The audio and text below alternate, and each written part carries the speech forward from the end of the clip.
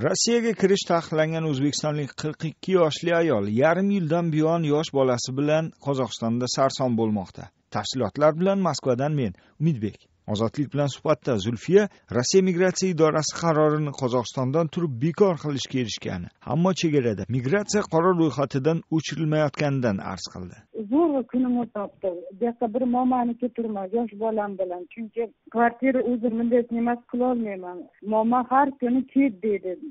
Kvartira izla deydi. Yarim kechasigacha ishlayman kafega u boshsizalik qilaman. Dedi zulfiya. Zulfiya mamarajabova bundan to'rt yil oldin qarshi shahridagi o'z mulkini sotib rossiyaning samara viloyatiga ko'chib o'tganini gapirib berdi. O'zbekistonda bolalar uyida tarbiyalanganini gapirgan ikki bolali bu ayol samaraning kinel cherkaskiy tumanidagi qishloqlardan biriga joylashib bu yerdan kvartira sotib olgan. Man o'zbekistonga borsam uyim yo'q hech nimam yo'q hech kimim yo'q qo'rqib o'tiraman man bu yoqda samaraga esa uyim bor bir necha marta granitsagacha borib yana qaytib kelaman bolam bilan. Qonunni bir juda buzgan ayol emasman bir ikkita bolani anaqa bitta bolam aqta bittasi boshqa kunim qanday o'tayotganini o'zim bilyapti xudo bilyapti kun bo'lmasa ket ket ket ket degani degan dedi yanvar oxirlarida qozog'istondagi migratsiya qaydi yakuniga yetishini bildirgan zulfiya mamarajabova samarada qandolatchilik mahsulotlarini chiqarish bilan ikki farzandini bir o'zi boqib kelgan ayol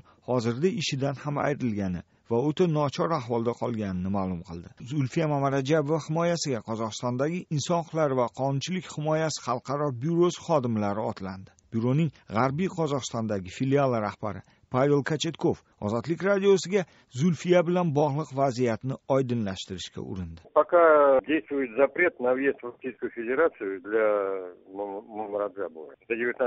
Mamarajabovaga hozir ikki ming o'n to'qqizinchi yilgacha kirish taqiqlangan. Migratsiya politsiyasi xatti harakatlari noqonuniy deb topilgan ammo qonuniy kuchga kirgan qaror amal qilmayotir bajarilmayotir. Uralskda u bir oyda krizis markazida yashadi. Endi biz unga o'zimiz hisobimizdan bir xonali kvartira ijaraga olib berishga harakat qilyapmiz. Men rossiya bosh prokuraturasiga shikoyat bilan chiqdim dedi himoyachi pavel kachitkov. Qozog'istonlik huquq faoli zulfiya mamarajabova ishi yuzasidan rossiyaning qator boshqa idoralariga ham xat yuborilgani va yanvar oxirigacha javob kelishi kutilayotganini ma'lum qildi.